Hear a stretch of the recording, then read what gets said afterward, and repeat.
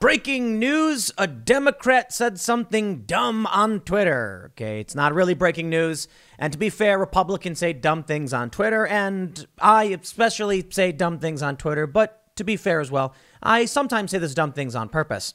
Terry McAuliffe, he is the former governor of Virginia, he wants to be governor again, said, Call me crazy, but I think it should be easier to vote than it should be to buy a gun. Uh huh. This is something really dumb we've heard before. I believe it was David Hogg who said something similar.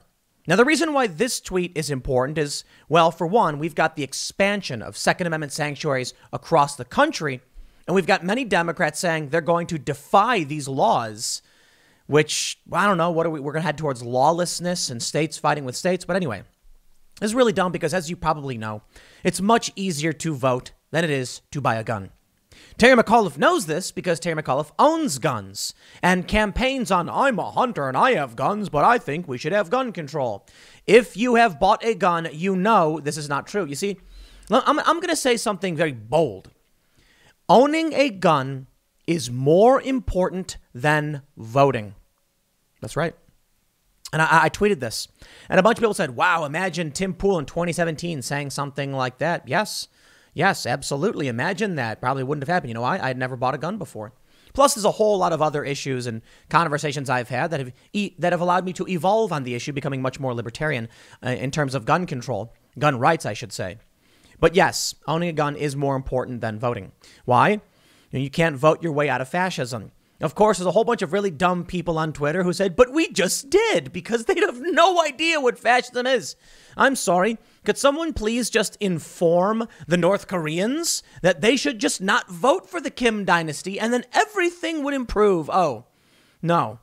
The Kim family enjoys a 99.99% approval rating. Why? Because they imprison and execute dissidents. But here's this, this is why it's so nefarious. Terry McAuliffe is a liar.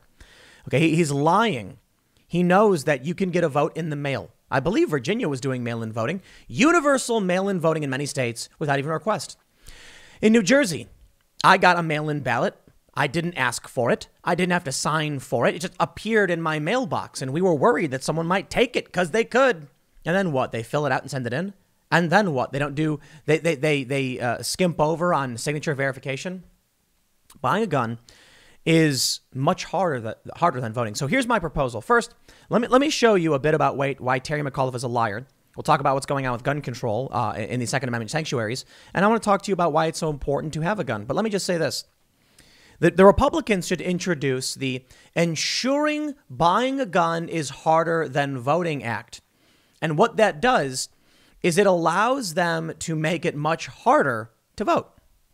See, we're going to ensure that it's harder to buy a gun what does that mean? Well, uh, you can get a, a gun sent to you for free in the mail without requesting it.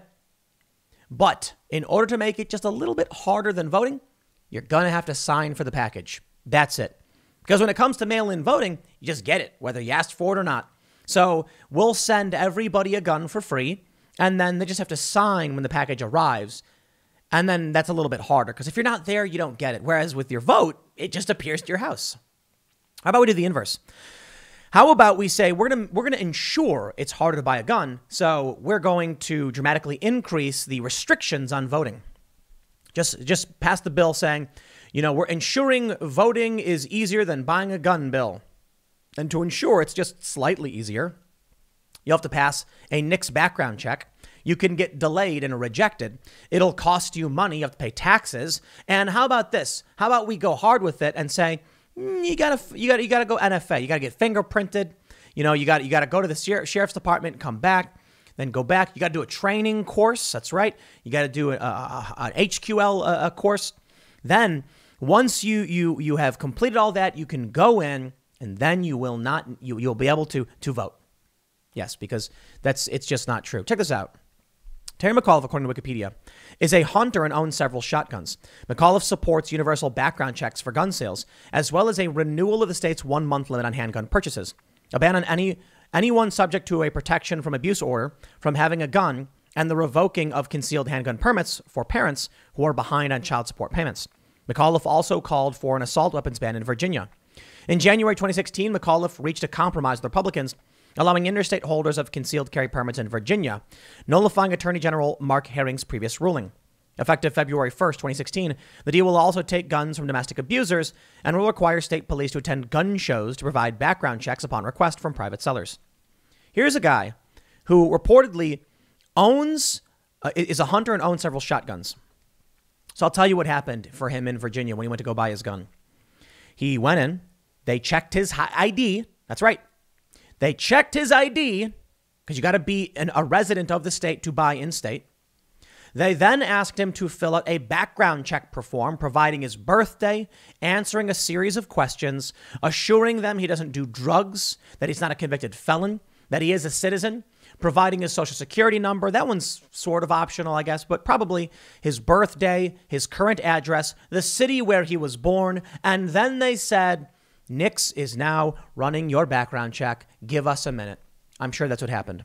Now, for him being a politician, I'm sure he got cleared relatively quickly. But when you go to vote, you know what I did when I went to vote? I walked in, I said, Here's my name, I'm here to vote. And they said, Okay, there you go. And I walked in the booth and went boop, boop, boop, and that was it. So, in order to buy a gun, you need an ID and a federal background check. We don't do that for voting, and he knows it. He is lying. These people are manipulative scumbags, and they know it.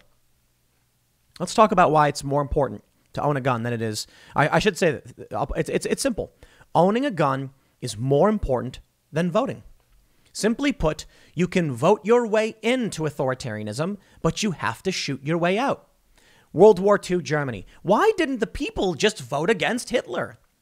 Well, a bunch of these dumb leftists say things like, but, but he was a fascist and like the people voted him in. He was killing dissidents, they were indoctrinating children. Pay attention to history. Why don't the communists just vote out the communists? Because they, they, they execute you. Why won't, uh, okay, fine. Make all the historical arguments in the world you want. Why won't the North Koreans simply, why, why don't they simply just vote for someone else? Weird how that works, isn't it? Because you can't just walk out. Owning a gun is more important than voting because people can vote for a whole bunch of stuff. And you know what? Some people don't have all the answers and don't want to vote for certain things. But I'll tell you this people need to defend themselves from foreign invasions and domestic enemies. To put it simply, voting on, on its very most basic level is participation in the republic or whatever country you live in, and you're letting your voice be heard. Assuming you live in a actual free and fair country, unlike North Korea, voting is important for you to assert your voice in domestic and to a certain extent foreign policy issues. Owning a gun actually has two main purposes defending this country from foreign enemies should they try to invade, and defending this country from domestic enemies should they be homegrown terrorists and, or, or, extremists or, or, tyrannical politicians. You see, let's say there's a, a, uh, uh, a, a terrorist and they're armed and they're saying, I'm going to do something bad. You can't vote them away. Let's say there was a, a foreign boats crashed on the shores and they jumped out. You can't vote them away. So it's actually really, really simple. It's not complicated. Owning a gun provides you with defense in a multitude of ways, and it's not just about defending yourself from a tyrannical government. China put out this propaganda cartoon where it's like the 4th of July and it's two people like cheersing or whatever, and then one crazy guy, you know, shooting and there's blood splattering. Sure, there are a lot of people dumb in this country who do dumb things with guns and fireworks and explosives or, or whatever. But there's a reason why China doesn't like that we have guns. As, it's, as it goes, there's a gun behind every blade of grass. Yeah, America's never going to get invaded. It's just not going to happen because everyone here is armed to the teeth. And maybe these cities are in trouble, but they have a lot of cops and the cops are armed. But interestingly, the weakest points of this country are probably big cities. You'd have to bring in National Guard and hope your police can handle it. You go out into the countryside, you're going to have dudes walking around with ridiculous weapons. I got a 50 BMG. You know, don't come out here and trespass. Don't invade this country. Granted, I'm not about to be taking my 50 BMG out of storage for anything like home defense. No, you've got more practical home defense weapons. You know, standard AR-15, 5.56. You probably don't want to use in your home, but maybe. I, I, I'm a fan of like a, a like a nine millimeter AR pistol with the you know frangible or hollow point rounds um, for, the, for for defense because you want to minimize damage. You want to you want to you don't want over penetration things like that. So I'll put it this way: As I already stated, it's very simple. When you own a gun, you can protect your family from an intruder. You can defend your country from enemies, uh, uh, foreign enemies, and you can defend your defend your country from domestic enemies, which could be political extremists. You can also defend your country from the abuse of voting. If somebody votes in a tyrannical dictator and they start oppressing people, and you don't have weapons of any kind, oh well, I'm sorry. There you go. It's just you're not going to be able to do anything about it. So that's why so many dictators try to take away guns from people before they implement their insane authoritarianism. They don't want the opposition. The United States recognizes this, and that's why. This story from Just the News nearly two thirds of U.S. counties now Second Amendment sanctuaries. As of June 20th, there are 1,930 counties protected by Second Amendment sanctuary legislation at either the state or county level. They say Texas was the 21st state to pass a constitutional carry bill, which Governor Greg Abbott signed into law and which becomes effective September 1st. And while some legislatures are not taking the same action, county officials have chosen to enact their own legislation. Roughly 1,137 counties have taken it upon themselves to pass Second Amendment sanctuary legislation, and likely hundreds of cities, townships, boroughs, etc., have, have done so at their level as well. The Second Amendment sanctuary movement was born out of a grassroots effort brought on by county or municipal leaders who vowed not to enforce any gun laws imposed by state or federal bodies they deemed were unconstitutional. Sheriffs have also made pledges to uphold the Second Amendment. Most recently, every sheriff in Utah, quote, Importantly, the Second Amendment of our divinely inspired Constitution clearly states the right of the people to keep and bear arms shall not be infringed. A letter signed by all 29 Utah sheriffs states We hereby recognize a significant principle underlying the Second Amendment. The right to keep and bear arms is indispensable to the existence of a free people. Upon signing the new Texas law, Abbott said Texas was a Second Amendment sanctuary state.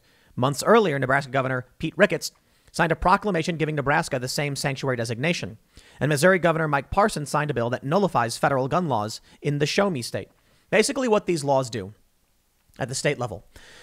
If the feds try to come in to enforce some kind of gun regulation, these sanctuary laws say that state level resources and below cannot be used to assist the federal government. Okay, it's no guarantee, and I still I still think you want to abide by the law. You what you do is you file lawsuits. It's not easy. There are organizations that do this. This is the way the system is supposed to work, and it's a brilliant system in my opinion. They may pass a law. Just because they passed a law doesn't mean they immediately violated the Constitution, technically speaking. The way it works is they'll they'll pass a law, and then you challenge the law if you have standing, and the law stands or dies in the courts. Some laws are very, very obvious. You know, murder has been, a, you can't kill people. It's just, you know, self defense is different, but you literally can't go out and intentionally, you know, kill someone. That's obvious to everybody. So you can't do it.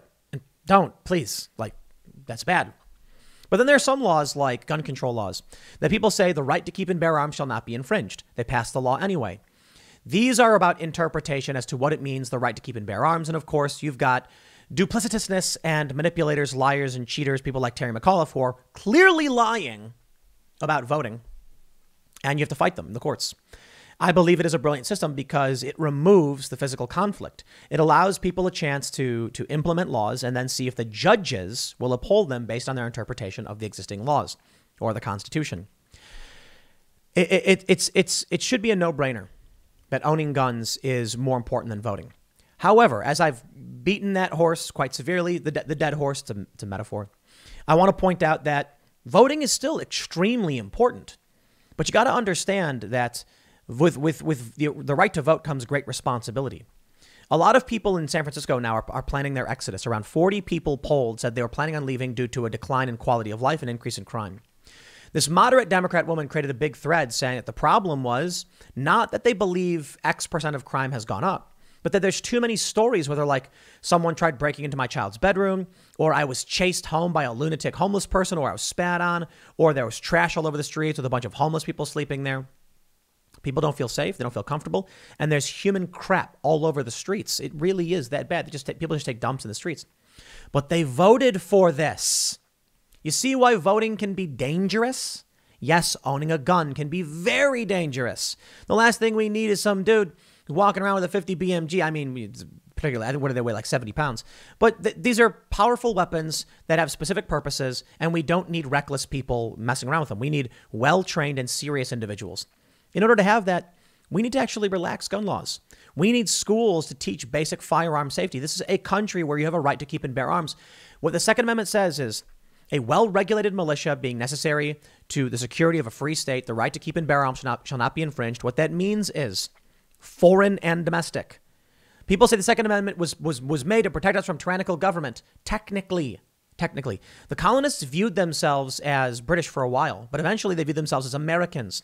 When the British came, it wasn't that they felt they were being oppressed by their own government. They felt that a foreign adversary, effectively, because they were like, we're independent. You don't govern us. This makes no sense. Really, what happened was the British were basically saying, we want you to keep giving us money. And they were like, we're not going to keep giving you money. And they needed guns. The British tried taking their guns away, actually. The British did a bunch of really messed up stuff that ultimately helped spark the revolution. They were trying to take the guns while levying war against the colonists to try and suppress this idea of independence. So now we have America. Take a look at what's happening around the world with COVID lockdowns Australia, Canada, the UK. They're severe. Videos of cops barging into people's homes and just dragging them out wrongfully in many circumstances. There's a video in uh, uh, uh, Australia. There's a guy apparently was walking down the street drinking a coffee, and the cops are like, "Put your mask on." Now in the United States, they have done similar things in big cities. The big cities where people don't have the ability to defend themselves. Because these cities, in my opinion, violate the Constitution by making it damn near impossible to keep and bear arms. You the people who choose to live in these places get harassed and victimized. You take a look at what, what, what happens in San Francisco with the people all, all saying they're going to be leaving because of the crime. Well, it's because they can't do anything to defend themselves. Now, in the middle of nowhere, you can defend yourself. You have a right to keep and bear arms. It's, it's pretty lax in uh, West Virginia, I believe, getting rid of their sales tax on guns and ammo. That's amazing. Texas, of course, passing constitutional carry. Virginia already is constitutional carry, which means you can go in, buy a gun, and walk out with it. But guess what? It's still easier to vote. I should know. When you when you when you vote, uh, or or I mean, just, let me put it this way: even with constitutional carry, you still have to do a background check. Now, if you want, there is a way you can walk into a store, buy a gun, and walk right out. And that's if you get a concealed carry permit because it acts as your background check. They're not super easy to get. They're not super difficult. It's just tedious. I don't have the time to go and do it, so I, I don't have one of those. But it's constitutional carry, which means in West Virginia, you can take your gun, you can put it in your, your, your holster inside the belt so people can't see it, so it's concealed, and you don't need a permit for it. You still have to go through a background check and show your ID to buy one. Something you don't need to do in many jurisdictions when it comes to voting. And these Democrats know this. I wonder why it is then. They want to take away your right to defend yourself. You see what's happening in San Francisco. There's this video going viral 10 people raiding a store and just running out full speed. Nobody will do anything about it. Nobody can do anything about it. And the left's response is you can't take a life to defend property. That's not necessarily true. Um, you have to define what property is. You know, if someone is threatening to kill, say, your farm animals, it, it, it really depends. It really depends. But there, there, there is, in many, I think, in many circumstances, you are not just solely able to just end someone's life because they might harm property. So it's challenging. In places like West Virginia, however, you can actually shoot and kill someone to prevent them from even entering your property. So take a look at San Francisco. They're allowed on your property. They can take whatever they want. You can't do anything about it. You take a look at these red states. If they even try to enter your property, you can shoot them. Some places, uh, like New Jersey, have what they call castle doctrine, but it's partial castle doctrine, meaning you can't even defend your own home. You have to, you're obligated to flee unless you can justify why that would not have been safe. Good luck. They'll arrest you and say, "We don't, we don't buy it. You could have fled. Sorry, prison for you." Then you got some states where you have a duty to enter your home, where someone comes onto your property, you run into your house and hope they go away. And then you have places like West Virginia. I'm pretty sure West Virginia is straight up stand your ground castle doctrine if someone you don't know is trying to enter your property, period, you can you can shoot them to stop them from doing it. And I don't think that uh, I think that includes like outside your house. And the reason for it is there's other laws in these areas where you're allowed to drive on public roads without license plates, headlights, or a license. Now that sounds crazy, right? No, it makes a lot of sense. If you're driving a tractor, it, you know, when you live in a rural area, you might need to move farm equipment and you might have to go over the road. So they can't just be like every vehicle that's just 99% of the time in a field can't cross a road. And well, they, they said within a certain reason, you're allowed to travel a certain amount of distance without the proper, you know, licensing or, or whatever. It makes sense. Perhaps in these more rural areas, it makes more sense because someone could come and actually cause loss of life and millions of dollars in damage, which would negatively impact the entirety of the towns if, say, they destroyed a crop or, or polluted it or set it, set, it, set it on fire or whatever. So you're allowed to defend your property. You are. Look, I don't, I don't, I don't like the idea of people losing their lives, but I'll, I'll, I'll keep it simple. You can vote in these lunatics. You, it's, it's, it becomes impossible to vote them out. Tucson will ignore Arizona's Second Amendment sanctuary law because Democrats there say we don't care what, what law you passed. We're going to do what we want. The divide and the split, it's substantive. We are seeing at, at the, the blue cities defy their state laws. We are seeing blue states defy federal law. We are seeing this very serious divide. And I feel like, you know, people say when they come for the guns, that's when people will lose it. They've already been enacting red, red flag laws. Some people have lost it, some people have lost their lives over it. So I think that's a fair point. But I'll, I'll, I'll, I'll, I'll wrap it up here. Don't vote for anybody who wants to take away your rights. It's that simple. There, there is no right being lost when a Republican says you get to keep guns. There are some rights being lost by some, you know, Republican policy for sure. I, I, I shouldn't even say uh, maybe rights isn't is not the right word. Freedoms, or or um, it's tough. It's tough to say what, what the right word is for because not everything is a right that gets banned or, or restricted, right? But owning owning a gun is a right. The Democrats want to take away your right to keep and bear arms. The Republicans don't. But doesn't mean Republicans are, are perfect either. That's why I, I tend to just float more towards libertarian. Although I kind of lean left on libertarian issues, there's no real libertarian left at a national level. So you vote for the libertarian right, and then you get to do your libertarian left thing in private, and they leave you alone. There's no easy answers to all of this stuff, other than you got to be responsible for yourself. You can't have other people be responsible for you for your entire life. What happens? San Francisco happens. Crime runs rampant, and then people flee because they're not they don't want to be responsible for themselves, or they literally can't. I'll leave it there. Next segment's coming up at 4 p.m. over at youtube.com slash timcast. Thanks for hanging out, and I will see you all then.